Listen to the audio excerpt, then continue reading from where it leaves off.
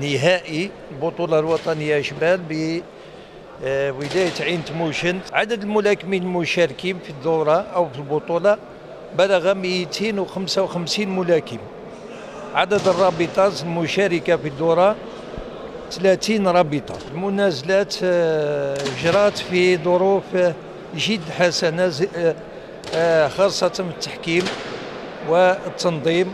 شاركت آه، بأربع ملاكمين. آه، لحقت النصف النهائي ملاكمين صنف آه، 54 كيلو وصنف 57 كيلو. آه، الحمد لله كان المستوى فوق الجيد الحمد لله يا ربي. آه، خدمنا وتعبنا. تحصلت على المرتبة الأولى وطنيا بطل الجزائر. و- ونهدي هذا الشكر لعائلتي وأصحابي وبالأخص الشيخ الحناشي والشيخ بشراير ومحمد والشيخ دقا عبد القادر بن ناي. والوزن تاعي 46 كيلو غرام و... حصلت على المرتبة الثالثة منافسة منافسة قوية قوية.